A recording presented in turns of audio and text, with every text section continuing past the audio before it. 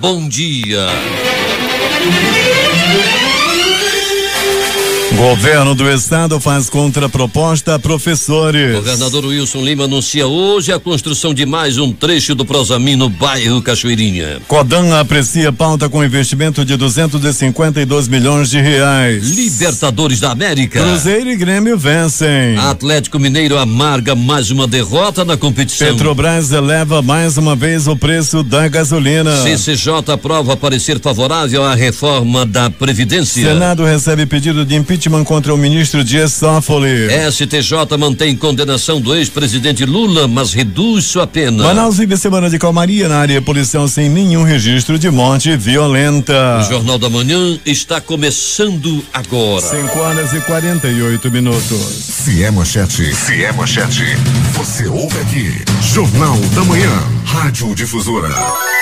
Previsão do tempo. O tempo em Manaus. Depois do aguaceiro da manhã de ontem, o clima tempo diz que é de 60% a probabilidade de chover, mas 33 milímetros nesta quarta-feira. A umidade relativa do ar é 80%. A temperatura no momento aqui no centro de Manaus está na marca dos 24 graus. A máxima, de acordo com o clima tempo, não deve ultrapassar os 30 graus centígrados. Normais as operações de pousos e decolagens nos aeroportos desta cidade. Quarta-feira, 24 de abril. Já se passaram 114 dias do ano e faltam agora 251 para terminar 2019. Dia de São Fidélis de Sigmaringa. Hoje também é o Dia Mundial do Jovem Trabalhador. Fatos históricos acontecidos nesta data. Nascia em 1913 o cientista Noel Núteus. 300 pessoas morreram e duas mil ficaram feridas na luta pela independência da Irlanda, isso em 1916. Nascia em 1930 o jornalista e ex-presidente da República José Sarney. Era inaugurado em 1936 o aeroporto de Congonhas, em São Paulo. O presidente Ernesto Geisel visitava a França e a Inglaterra obtendo empréstimo de um milhão, 1,6 bilhão de dólares, isto em 1976. 5 e 49 bom dia Edson, bom dia Jardina, bom, bom dia, dia você Eduardo ouvinte. Silva. Vamos às notícias, vamos continuar falando de tempo. O tempo quente, úmido e abafado predomina no norte do Brasil. Para os próximos dias, vários fatores meteorológicos vão favorecer a permanência das grandes nuvens carregadas que já estão sobre parte da região. Nesta quarta-feira, a combinação do calor e da alta umidade e a circulação dos ventos na atmosfera irão manter as condições favoráveis para a formação de muitas áreas de instabilidade em grande parte do Amazonas, em todo o estado de Roraima e do Amapá e também no oeste e norte do Pará. Em Manaus, Boa Vista, Macapá, Santarém e Belém, as nuvens não escondem totalmente o sol, mas as pancadas de chuva acontecem a qualquer hora do dia. O alerta é para temporais. Nas demais áreas, o tempo quente, úmido e abafado favorece o crescimento de nuvens a partir da tarde e não dá para descartar o risco de chuva de moderada a forte intensidade, acompanhada de raios e rajadas de vento. Manaus 5 e 50. 40 homens foram presos pela Polícia Civil por atraso no pagamento da pensão alimentícia aqui em Manaus. Os dados são da Delegacia Especializada em Capturas e Polinter e se referem ao período de janeiro a março de 2019. A inadimplência da pensão pode levar pais às unidades prisionais por até três meses, até que os valores sejam quitados. As prisões são decretadas pela Justiça a partir do ingresso da mulher com ação de alimentos a partir do terceiro mês de atraso no pagamento da pensão. Conforme o titular da Polinter, delegado Fernando Bezerra, a prisão por inadimplência de pensão alimentícia não é uma prisão criminal e tem o objetivo de fazer com que o inadimplente cumpra com a sua obrigação com os filhos. E é a única hipótese de natureza civil em que pode prender alguém. Essa prisão não é derivada da prática de um crime, sendo débito de uma obrigação civil, ou seja, da prática de um ato ilícito civil que não chega a configurar um crime, uma vez que para ser crime precisa ser previsão de ilícito no campo do direito penal. É um ilícito do direito civil, portanto, é que excepcionalmente admite prisão, destacou o delegado. Por se tratar de ilícito civil, a prisão é coercitiva. O devedor precisa pagar os valores e o tempo de prisão não isenta o valor atrasado, que também pode ser cobrado por meio de penhora dos bens, bloqueio de contas bancárias e passaporte, além de outras medidas que possibilitem a regularização. Se o devedor não possuir bens, poderá pedir ação revisional de pensão para reduzir o valor de maneira a conseguir cumprir com a obrigação e a equipe fica de sobreaviso. A Prefeitura de Manaus selecionou hoje candidatos para 28 vagas de emprego nos postos do Cine Manaus, Avenida Constantino Neri, número 1272, bairro de São Geraldo, e do Shopping Felipe Down, na Avenida Camapuã 2985, bairro Jorge Teixeira, a partir das 8 horas da manhã. As vagas do posto do Cine Manaus, da Avenida Constantino Neri, são para auxiliar de limpeza, motofrentista, cobrador e assistente financeiro, analista fiscal, encanador oficial de manutenção, e conferente e, e eletricista júnior. No posto Cid Manaus do Shopping Felipe Dão, as vagas são para operador de câmera de vídeo, chefe de cozinha júnior, gerente administrativo e financeiro, inspetor de qualidade, auxiliar de estoque, assistente de vendas, técnico em eletrônico hospitalar, operador de pré-expansor e consultor comercial. A Secretaria de Estado do Trabalho, CETRAB, oferece 30 oportunidades de emprego nesta quarta-feira. Além de outras oportunidades, há vagas para pintor, amorista e para estágio em serviço social. Os interessados devem comparecer à sede da CETRAB, localizada na Galeria Mais, na Avenida de Jalma Batista, 1018, entre o Amazonas Shopping e o Manaus Plaza Shopping. A distribuição das senhas começa às 7 horas. E o atendimento é das 8 às 17 horas. Os candidatos precisam estar com os documentos originais e cópia de, do RG, CPF, PIS, CTPS, comprovante de residência e escolaridade. Técnico de segurança. Vagas são para técnico de segurança do trabalho, assistente comercial marmorista, pintor, estágio em serviço social, auxiliar de manutenção, auxiliar de limpeza, vendedor de livros, auxiliar administrativo para PCD, auxiliar administrativo para PCD e auxiliar de farmácia também para PCD. 5 horas e 53 minutos em Manaus. O Centro Cultural dos Povos da Amazônia, em parceria com a Arquidiocese de Manaus, por meio da paróquia Coração Imaculado de Maria, realiza hoje, a partir das 17 horas e 30 minutos, o espetáculo Paixão de Cristo da Cruz a vitória da vida com direito à justiça. E a entrada é gratuita. Amanhã, quinta-feira, a partir das 19 horas, o coletivo de pesquisa em artes da cena Eva Daninha apresentará eh, o espetáculo Estrangeiro no Teatro Aldemar Bonades, no Centro de Convivência da Família Madalena da Arcidal, localizada na Avenida Brasil, bairro Santo Antônio, zona centro-oeste de Manaus. A montagem é fruto de pesquisa realizada a partir de projeto de iniciação científica do estudante do curso de teatro da Universidade do Estado do Amazonas, Paulo Tiago, que assumiu a direção do espetáculo. Como parte da programação alusiva aos seus 182 anos de existência, a Polícia Militar do Amazonas promove hoje às 19 horas, no pátio do Comando Geral, no bairro de Petrópolis, a solenidade militar em homenagem a Tiradentes, patrono das polícias militares do Brasil.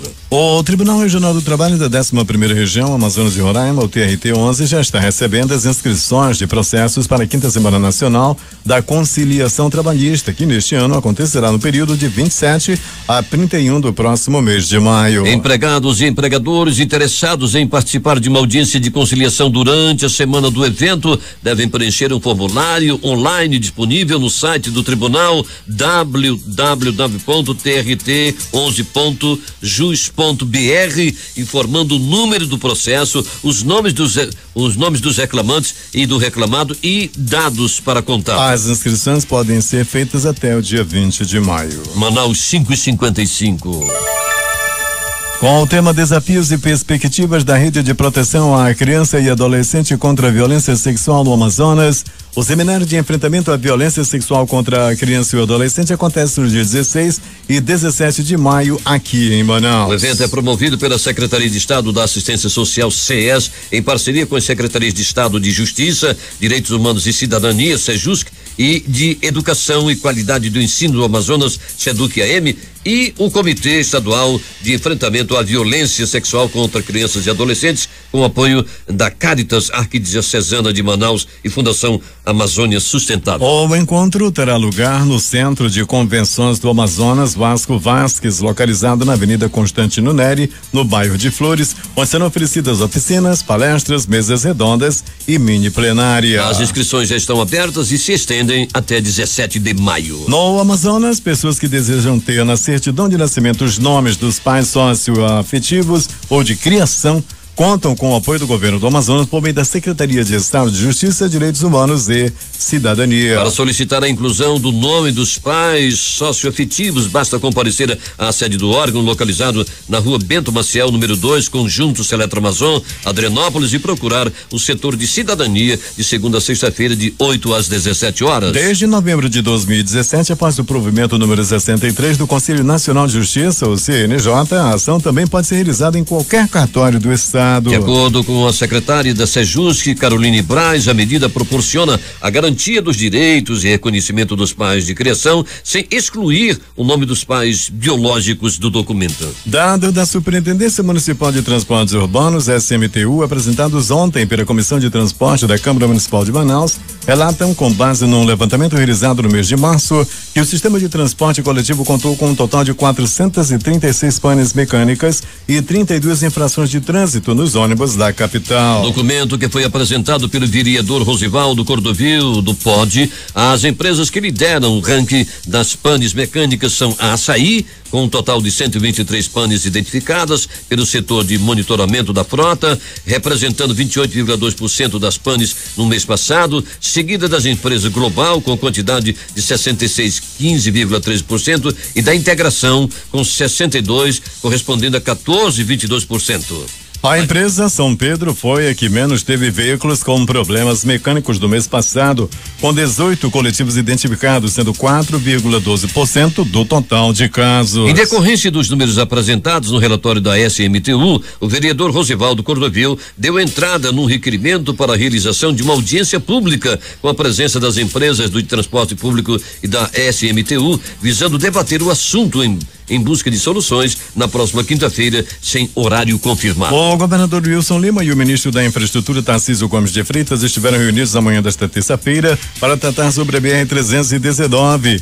e definir detalhes da viagem que o ministro e o governador, acompanhado de parlamentares, devem fazer pela rodovia. De acordo com o ministro, a viagem vai contar também com técnicos do Instituto Brasileiro do Meio Ambiente e dos Recursos Naturais Renováveis, IBAMA, órgão federal responsável pelas políticas de proteção do meio ambiente no Brasil. O ministro disse que está, eh, estão sendo organizados os detalhes da viagem que vai acontecer muito em breve, ainda no mês de maio. E nessa oportunidade estarão presentes também os dirigentes do IBAMA para que eles sintam a necessidade dessa BR, sintam o, o sofrimento da população, para que a população perceba que se trata de uma rodovia que já foi pavimentada e que, portanto, não tem óbices para seu licenciamento. O governador Wilson Lima destacou o empenho e o esforço empregados na resolução de entraves para a retomada das obras da BR.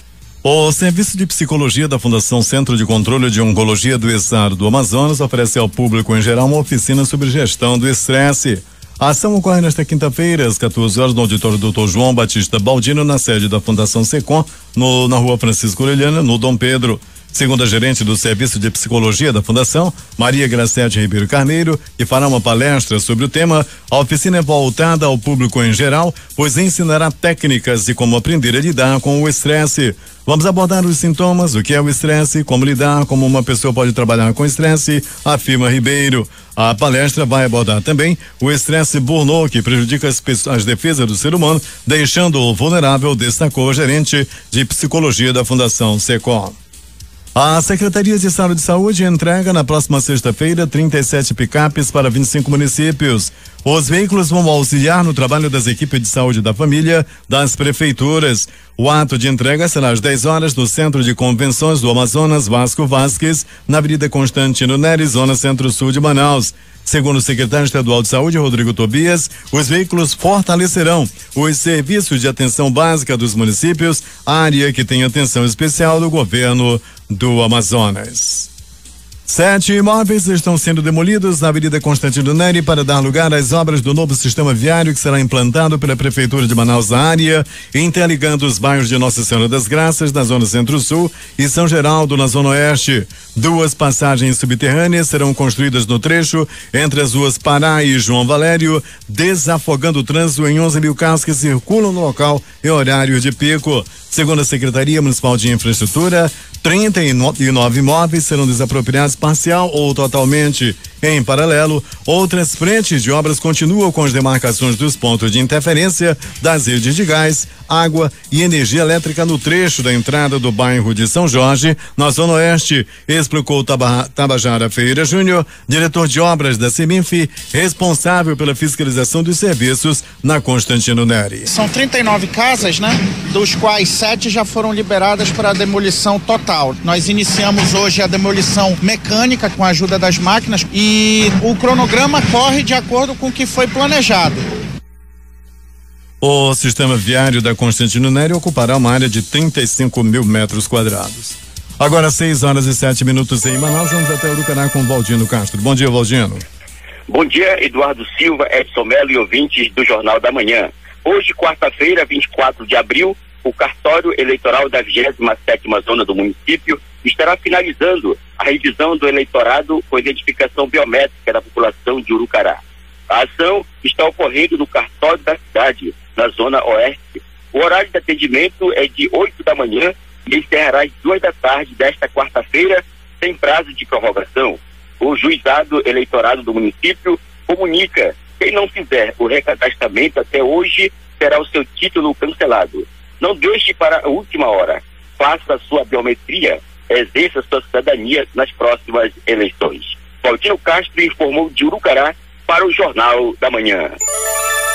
Obrigado, Baldino. 6 horas e 8 minutos em Manaus. E continuam abertas as inscrições para o processo seletivo do programa Bolsa Pós-Graduação da Prefeitura de Manaus.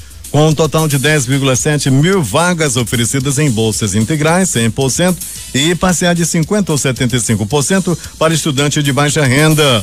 O edital completo e as inscrições estão disponíveis no www.portalesp.manaus.am.gov.br. Para participar, o candidato deve residir em Manaus, possuir diploma de curso superior ou concluir graduação até junho de 2019 e ter renda familiar não excedente a 3,5 salários mínimos por pessoa da família. A diretora-geral da ESP, SEMAD, Estela Cirino, alerta os interessados que as inscrições são realizadas exclusivamente via internet até as 23 horas e 59 minutos do próximo dia 5 de maio. Chamamos a atenção dos interessados que as inscrições para o programa Bolsa Pós-Graduação estão sendo realizadas exclusivamente pela internet, através do site portalesp.manaus.am.gov.br até as 23 horas e 59 minutos do dia 5 de maio. É importante que o candidato candidato leia atentamente o edital e informe corretamente os dados no sistema, a fim de evitar problema na inscrição. Nesta edição, o programa oferece 144 cursos em diversas áreas em 10 instituições de ensino superior parceiras que são Boas Novas, Esban, Estácio, Faculdade Salesiana Dom Bosco, FAMetro, FUCAP, Instituto Superior de Ensino Leia Norte, Marta Falcão, Newton Lins e Santa Teresa. Manaus, 6 horas 9 minutos.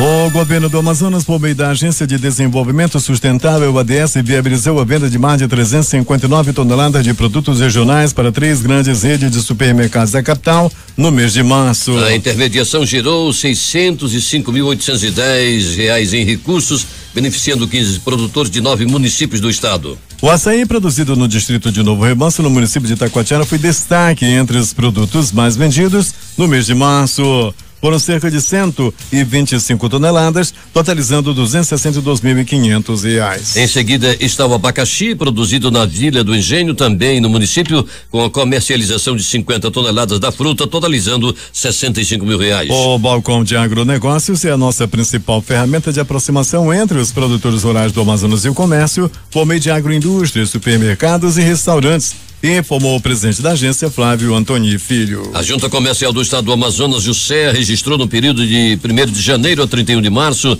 de 2019, 1.310 novas empresas no Amazonas, um crescimento de 5,3% em comparação com a mesma data em 2018. O balanço ainda aponta que a maioria das novas constituições, mais precisamente 668 registros, são de empresa do tipo empresa individual é empreendedor que atua como único titular de seu negócio, sendo este uma pessoa física e sem a presença de outros sócios, não se, não se enquadrando como microempreendedor individual. É, na categoria de EEE, se destacam com o maior número de registro empresas dos segmentos de serviços e comércio varejista. Conforme o balanço trimestral, Houve ainda um movimento de 282 registros de filiados no estado, sendo 144 de sociedade empresária limitada e a transferência de 22 empresas de outros estados brasileiros para o Amazonas, sendo 10 de limitadas. Manaus, 6 horas 11 minutos.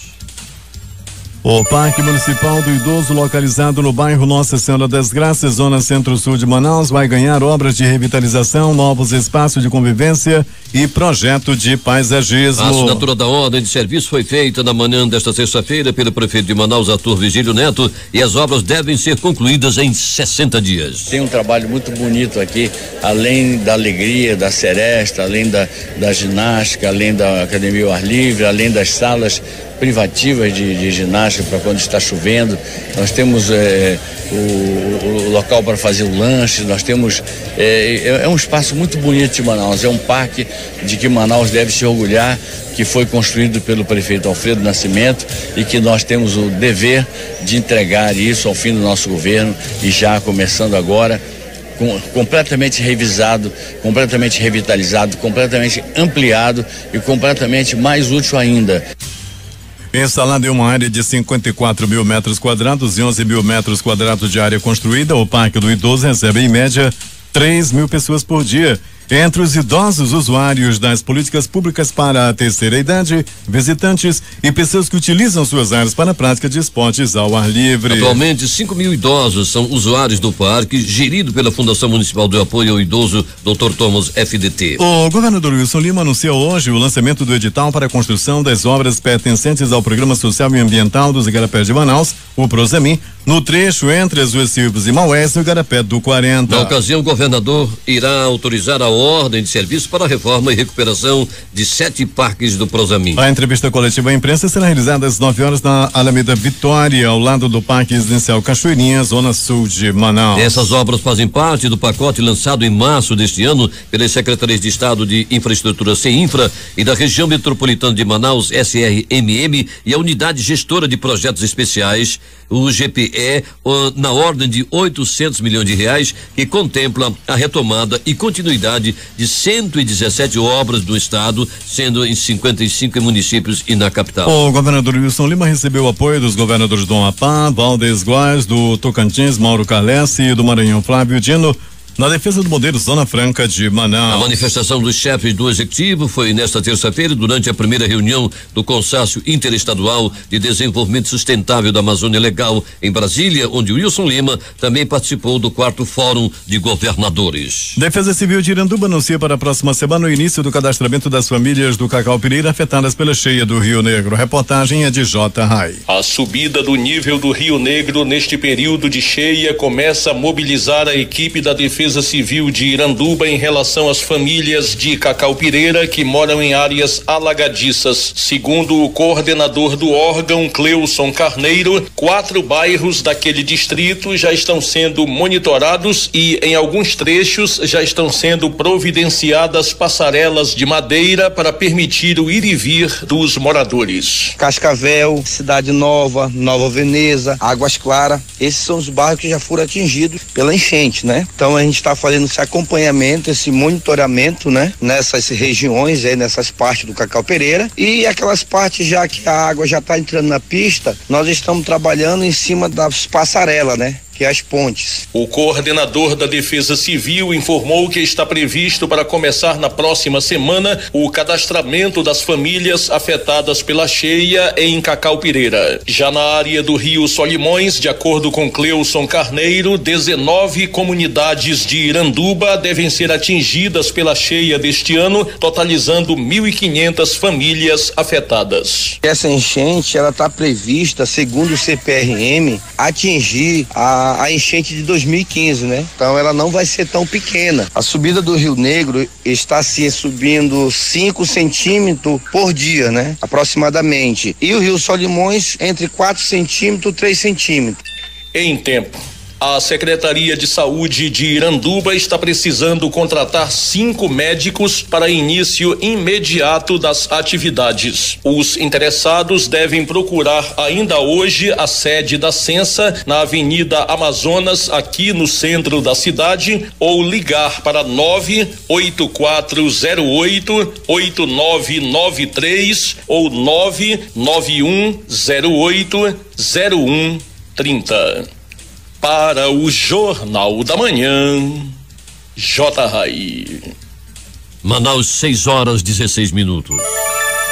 Durante a primeira reunião com todas as entidades representantes dos servidores da educação realizada ontem, o governo do Amazonas se comprometeu em estudar as perdas residuais que a categoria afirma ter sofrido nas negociações do ano passado sobre as datas base de 2015 a 2018. A contraproposta foi apresentada pelo governador em exercício Carlos Almeida Filho, que também garantiu de imediato os 3,93% da reposição salarial dos últimos 12 meses. Carlos Almeida destacou ainda que assim que o projeto de lei que garante a reposição salarial de 2019 for encaminhado à Assembleia Legislativa do Amazonas, o governo também voltará a discutir a implementação das progressões verticais e horizontais que foram apresentadas como propostas alternativas a ganhos reais desde o início das negociações. A categoria afirma ter sofrido perdas residuais de 2015 a 2018 que não foram pagas nas negociações do ano passado e vão além das datas bases pagas já já pagas a, a última parcela de 9,38% foi honrada pelo governador Wilson Lima. Com vistas a resguardar a indústria da Zona Franca de Manaus e lutar pela manutenção de um segmento consolidado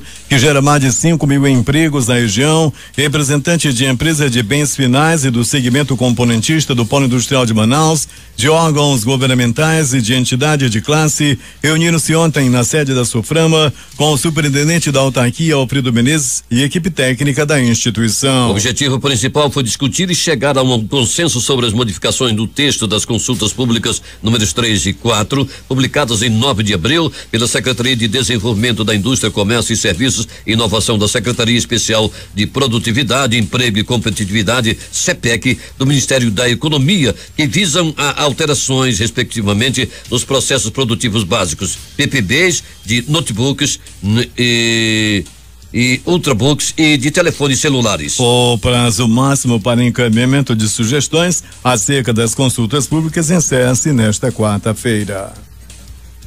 Projeto para fabricação de bicicleta elétrica no Polo Industrial de Manaus é destaque na pauta da centésima septuagésima nona reunião do Conselho de Desenvolvimento do Estado do Amazonas Codan, prevista para amanhã, quinta-feira, dia 25 às 10 horas, no auditório da Federação das Indústrias do Amazonas, a FIA. Disponível na página www.ceplant.am.gov.br a nova pauta do CODAN relaciona 20 projetos industriais de, com investimentos estimados em 252,690 milhões de reais. Outro destaque da pauta da reunião é o projeto da Vision Indústria e Comércio de Produtos Eletrônicos para a produção de câmera de vídeo para sistema de segurança e para circuito fechado de TV, estimado em 33,165 milhões de reais. Realizada em 27 de fevereiro, a primeira reunião do CODAN deste ano aconteceu na Federação da Agricultura Agricultura e Pecuária do Amazonas, FAE, na qual foram aprovados na íntegra pauta com 41 projetos industriais que somaram investimentos acima de um bilhão de reais e 1.499 vagas no mercado de trabalho ao longo de três anos. Componentes plásticos, equipamentos multimídia para internet e carregadores de bateria para telefone celular são alguns dos produtos em destaque na pauta da centésima septuagésima reunião do CODAN. Os projetos de diversificação de linhas de produção já existentes chegam a 591 milhões de reais, enquanto os de atualização somam cerca de 367 milhões de reais. Polícia. Polícia. Alberto Peregrini. Muito bem, Eduardo Silva e ouvintes do Jornal da Manhã. Noite madrugada das mais tranquilas na cidade. Os prontos-socorros, o IML com pouca movimentação durante a noite também toda a madrugada de, de que já está terminando. Eduardo Silva, para você ter uma ideia, no pronto-socorro 28 de agosto, apenas dois atendimentos. Já no pronto-socorro João Lúcio, no gigante da zona leste da cidade, uma pessoa deu entrada vítima de atropelamento. Essa pessoa era uma jovem de 22 anos que vinha atravessando a Avenida Camapuã quando foi colhida por uma moto. Desde então, ela está, deu entrada no pronto-socorro João Lúcio, onde permanece internada. Uma pessoa deu entrada no pronto-socorro Platão Araújo, vítima de agressão física, apanhou a murros, chutes, socos, pontapés e alguns bofetes. Trata-se de um homem conhecido como Edson, figura conhecida na área do bairro de São José, conhecida por praticar roubos, até que ontem se meteu aí num furto e acabou apanhando e apanhando muito. Ainda assim, depois da pisa, ele fugiu ganhando as ruas do bairro de São José e até o presente momento não foi localizado. Ainda do pronto-socorro Platão Araújo. Uma pessoa deu entrada vítima de atropelamento, um jovem de 19 anos. Ele foi atropelado na rua Jesus Me Deu, no bairro Zumbi dos Palmares. Até então, ele deu entrada, passou por eh, alguns curativos, deu entrada e não tinha ferimentos mais graves e posteriormente foi liberado. Noite de ontem, noite de pânico no bairro do Alvorada. Dois irmãos que estavam conversando na frente da casa deles foram baleados por ocupantes de um carro modelo HB20. Os homens chegaram, se certificaram de que eram realmente aqueles irmãos que eles queriam. Logo que perceberam que sim, atiraram e deixaram os irmãos em estado grave. Os dois estão internados em estado gravíssimo no pronto-socorro 28 de agosto. Os dois irmãos estão aí correndo sério risco de morte após serem baleados na frente da casa onde moram no bairro Alvorada. Uma mulher de 23 anos foi presa suspeita de furtar um aparelho celular nas dependências do pronto-socorro Joãozinho, na zona leste da cidade. Conforme a polícia, a mulher que não quis se identificar relatou que estava acompanhando o filho durante uma consulta lá no Joãozinho, quando teve seu celular furtado por outra acompanhante. A mulher estava lá com o filho doente e ainda assim resolveu roubar. Rapaz, ela, a polícia foi acionada e ela foi levada ao 14 quarto DIP para prestar esclarecimentos e também flagranteada, né? Ela roubou dentro do pronto-socorro Joãozinho. Pronto, socorro Platão Araújo ainda em destaque. Uma pessoa deu entrada vítima de agressão física, apanhou a murros, chutes, socos, pontapés e alguns bofetes. As primeiras informações dão conta de que esse desentendimento deu-se por causa de uma briga de trânsito ali nas proximidades da Avenida Camapuã. Um deu-lhe com um capacete no outro e o que levou as capacetadas deu entrada no Platão Araújo era por volta de 21 horas e 30 minutos do Instituto Médico Legal. E atenção, Eduardo Silva e ouvintes da difusora, mais uma noite madrugada tranquila na cidade. A pedra estava criando teia de aranha durante a noite madrugada. Nenhuma morte por bala, nenhuma morte na faca, nenhuma morte por paulada, nenhuma morte, nenhuma morte por acidente de trânsito. Assim foi a noite e madrugada no pronto-socorro, aliás, no Instituto Médico Legal. Ninguém na pedra até o presente momento. Apesar do dia, né, no, da manhã ter sido violenta, ontem o já no programa do Garotinho Valdir Correia, apresentado pelo Daniel Anzoateg, nós já trazíamos as informações de um corpo encontrado lá na área do Tarumã, de um outro corpo encontrado no Distrito Industrial 2. E ficou por aí. À noite e madrugada não tivemos nenhum registro de morte. A reportagem foi de Alberto Pellegrini para o Jornal da Manhã. Loteria. E vamos começar com dia de sorte, concurso 141. Mês da sorte, mês de julho. As dezenas sorteadas foram estas: 02, 07, 09, 15, 23 25 e 30. Repetindo as dezenas do concurso 141 do dia de sorte. 02 07 09 15 23 25 30. Uma aposta ganhadora, sete números acertados, uma aposta ganhadora lá de Curitiba, no Paraná, e vai receber trezentos e quarenta mil trezentos e seis reais e cinquenta e sete centavos. Seis números acertados, 118 apostas ganhadoras, prêmio um mil setecentos e setenta reais e oitenta e sete centavos. O mês da, da sorte, já dissemos, foi o mês de julho, setenta e quatro mil oitocentos e trinta e três apostas ganhadoras com premiação de dois reais. Dupla cena, concurso número mil dos 1926, acumulou ambas as faixas de premiação. Estimativa de prêmio para o próximo concurso no dia 25 amanhã, trezentos mil reais de acordo com a Caixa Econômica Federal. Na primeira faixa de premiação da dupla cena, concurso 1926, as dezenas sorteadas foram 06, 08, 26, 35, 39, 44, Na segunda faixa de premiação, as dezenas foram 05, 20, 24, 27, 36 e 44. Vamos agora falar da quina, concurso de número 4.957. Dezenas sorteadas 08, 14, 30, 62 e 75. Prêmio principal acumulou a quina, não houve acertador. Estimativa de prêmio para o próximo concurso, a ser realizado hoje, quarta-feira, 2 milhões de reais, de acordo com a Caixa Econômica Federal. Na quadra, 48 apostas ganhadoras, prêmio sete mil duzentos e dezessete reais e quarenta e sete centavos. O Terno teve 3.466 apostas ganhadoras com premiação individual de cento e cinquenta reais e trinta centavos. O Duque, cem mil seiscentos e sessenta apostas ganhadoras, prêmio dois reais oitenta e quatro centavos. Vamos repetir, dezena da quina, concurso quatro mil novecentos e cinquenta e sete. Zero oito. 14. Trinta. Meia dois. 75. Vamos falar agora de time mania, concurso de número 1322. Sete números acertados, não houve acertador, acumulou estimativa de prêmio para o próximo concurso, nove milhões e seiscentos mil reais. Seis números acertados, cinco apostas ganhadoras, prêmio vinte e seis mil duzentos e vinte reais. Time do Coração, Gi Paraná, de Rondônia, atenção para as dezenas do concurso 1322 da Time Mania, anote. 05 12 21 51 54 58 73 E finalmente vamos falar de Lotomania, concurso 1963. 20 dezenas, acumulou. Estimativa de prêmio para o próximo concurso no dia 26, na sexta-feira, um milhão e seiscentos mil reais.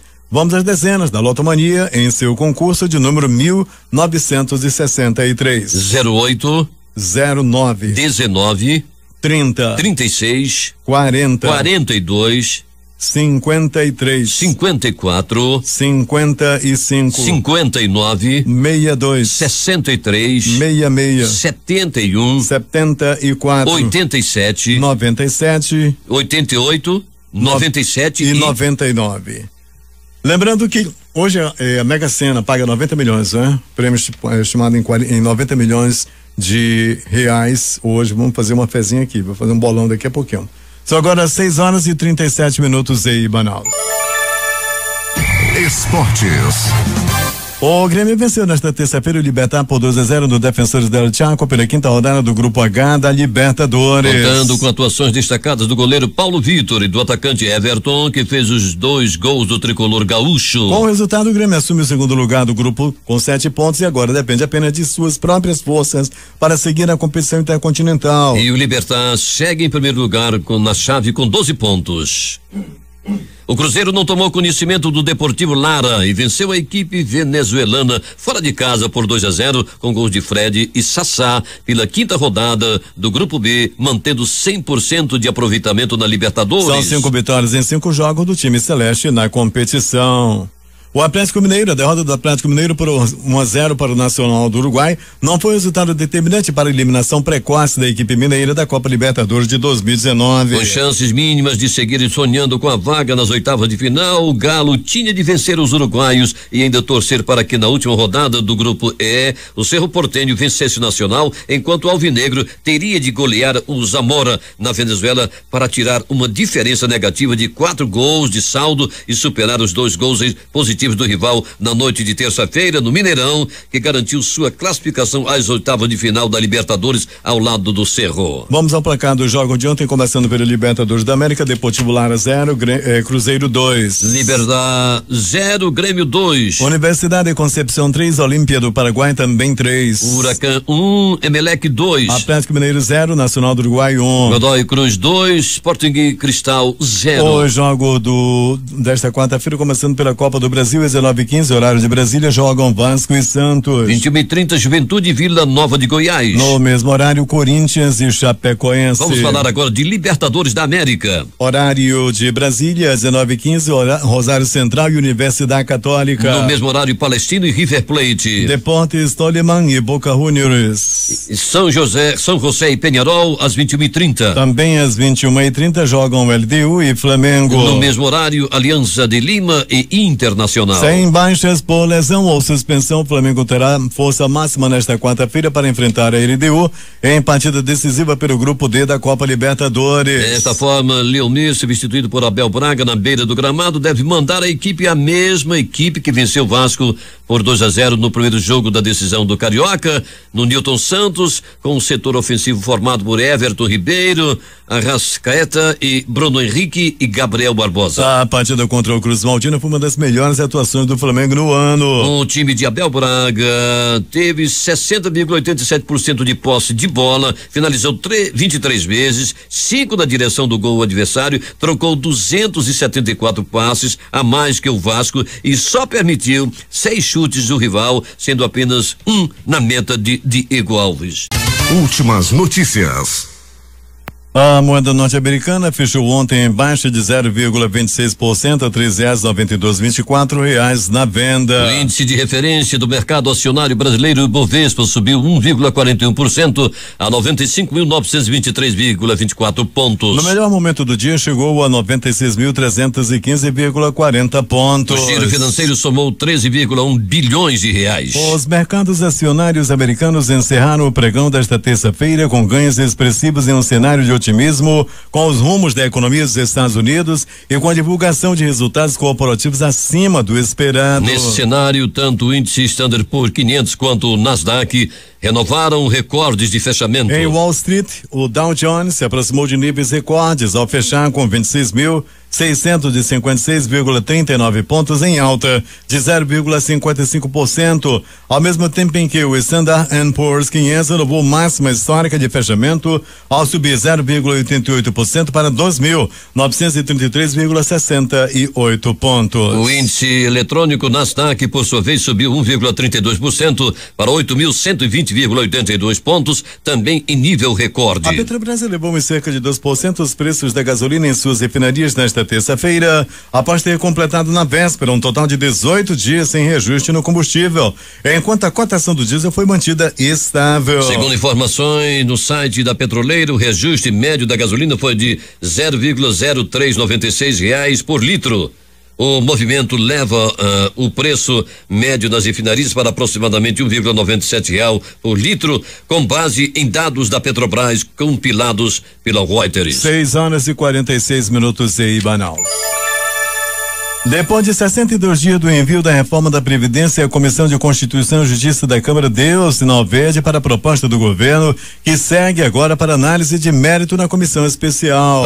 A admissibilidade foi aprovada por 48 votos a 18. A aprovação foi sucedida de comemoração dos governistas e vaias da oposição. A tramitação da CCJ, que analisa a constitucionalidade do texto, durou mais tempo do que o governo esperava, o que obrigou a equipe econômica a ceder pontos já na largada. O senador Alessandro Vieira, do Partido Cidadania do Sergipe, protocolou nesta terça-feira um pedido de impeachment do presidente do Supremo Tribunal Federal, Dias Toffoli, e do ministro da Corte, Alexandre de Moraes. O parlamentar anunciou o movimento após os desdobramentos do inquérito determinado por Toffoli, que investiga supostos ataques contra o STF. O senador quer que o pedido de impeachment seja submetido ao plenário da casa e, se aprovado, enviado a uma comissão especial para analisar a procedência da denúncia. Manaus 6 e 47.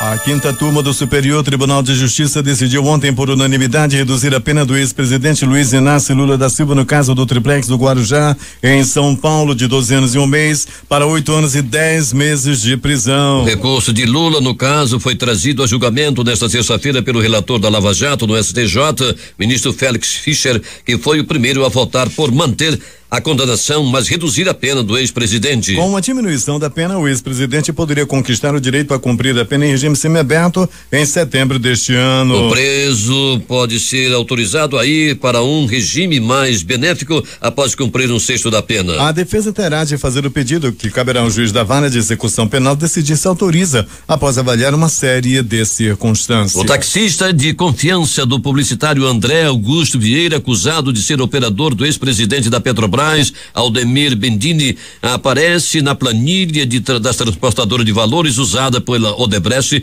como recebedor de supostos pagamentos de 3,5 milhões de reais da empreiteira não revelados à justiça. Marcelo Marques Casimiro foi apontado como portador da propina de 3 milhões de reais e resultou na condenação de Bendini a 11 anos de prisão por corrupção e lavagem de dinheiro em março do ano passado. Manaus 6 e 49. O líder da Coreia do Norte, Kim Jong-un, chegou nesta quarta-feira a Vladivostok, na Rússia, onde se encontrará com o presidente Vladimir Putin na quinta-feira. Essa é a primeira vez que Kim visita o país. Pouco depois de cruzar de trem a fronteira russo-norte-coreana, ele disse estar feliz por pisar em solo russo e que esta não será a sua última visita, é apenas o primeiro passo. O número de mortos na série de ataques no domingo de Páscoa no Sri Lanka contra igrejas e hotéis de luxo subiu nesta quarta-feira para 359, segundo informações divulgadas por fontes oficiais. O número de mortos passou de 321 para 359 nas últimas 24 horas, depois que vários dos mais de 500 feridos morreram em informou o vice-ministro da Defesa, Ravan Virkevardeni. 6 horas e 50 minutos em Manaus.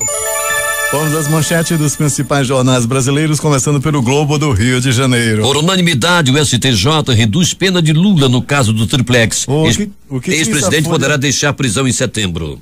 O que diz a Folha de São Paulo? Bolsonaro diz querer colocar ponto final na briga entre Carlos e Mourão. Principal matéria de capa do jornal Estado de São Paulo. Senador protocola pedido de impeachment de Dias Toffoli e Moraes. Vamos agora ao Planalto Central com o Correio Brasiliense. Após quatro horas de reunião com o ministro, caminhoneiros descartam greve. Valor econômico. Apenas Azul teve ganho de mercado em março. Vamos a BH com o destaque do jornal Estado de Minas. Morre um dos jovens atacados pelo ex-padrastos em BH. Mãe e irmão seguem internados. A vez agora é do Recife com o centenário Jornal do Comércio. MPF apresenta décima denúncia por fraudes em verbas para vítimas de enchentes. Fortaleza, Diário do Nordeste. Governo Bolsonaro vai deixar de usar o nome Rei Lei Juan. Né? Agora, agora, vamos até Porto Alegre com destaque do jornal Zero Hora. Conselho Nacional do MP abre processo contra Dalianon após fala sobre ministro do STF. Manchete dos jornais locais que chegam à redação do Jornal da Manhã, começando pelo também centenário Jornal do Comércio. Em busca de saída política contra risco tributário. A crítica. Frota Cacareca, transporte coletivo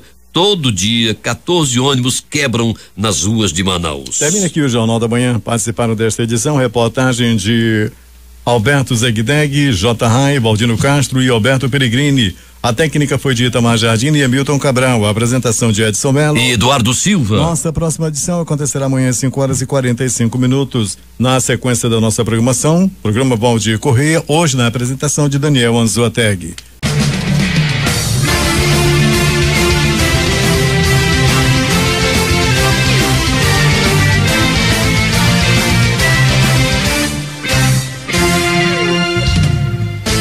Bom dia, bom dia, 6 e 59 bom dia a você que sintoniza aí nos 96,9. Essa é a difusora do Amazonas, por aqui, dando início a mais um programa do garotinho Valdir Correia. Hoje na apresentação de Daniel Anzoateg. Olha, rapaz, teve até vinheta, meu amigo. Tá pensando o quê? Tá certo? Bom dia, então. Obrigado você que já estava na excelente companhia aí na audiência do grande Jornal da Manhã. Bom dia ao Edson Melo, Eduardo Silva, que seguem aí também, né, nos seus afazeres diários. E bom dia a você que está no trânsito, já se formando. Aí, bom dia a você que está dando carona para nós, então, quem trabalha, você que já está trabalhando, você que já está estudando, você que, enfim, está fazendo, você sabe lá Deus o que, que também não é da minha conta. Mas Bom dia a você então. Começa agora mais um programa do garotinho Valdir Correia.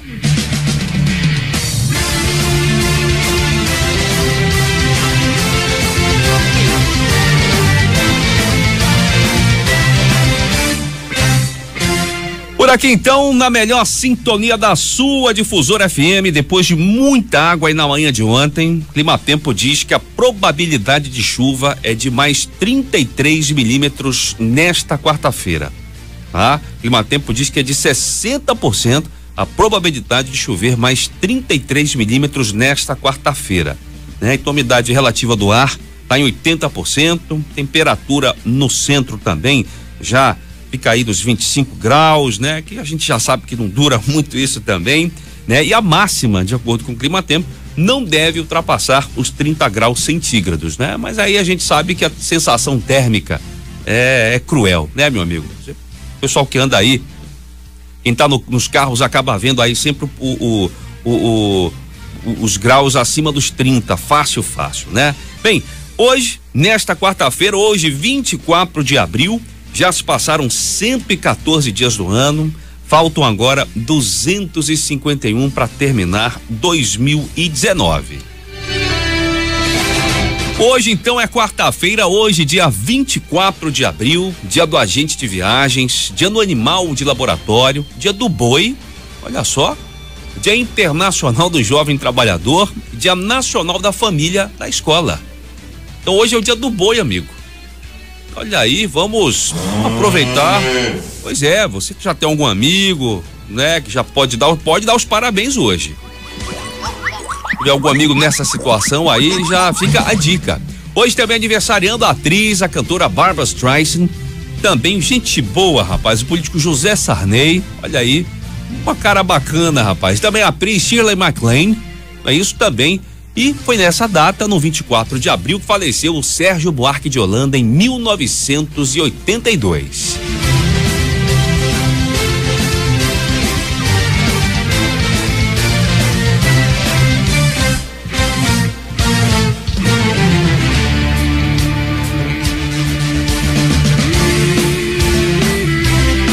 Muito bem, sete horas e dois minutos, já dou a nossa saudação amiga aqui a toda a equipe difusora já aqui presente, não é isso? Lembrando mais uma vez, nosso amigo Fred Lobão está se recuperando, né? em breve já de volta aos microfones da difusora, o garotinho Aldir Correia também, né? Já eh, curtindo aí um descanso merecido, a próxima semana, se Deus quiser, ele está de volta por aqui e eu já dou meu bom dia a toda essa equipe já nas ruas aí em instantes também as patrulhinhas com Alberto Pellegrini, também com Roberto Cuesta, dando informações do trânsito, falando aí os nossos boletim de polícia, também para você ficar antenado aí do que acontece nas ruas de Manaus. Também bom dia aqui o Hernandes Sampaio, já Milton Cabral, na técnica também, na produção Carlinhos Luiz desde cedo, junto aí com o Jackson Colette.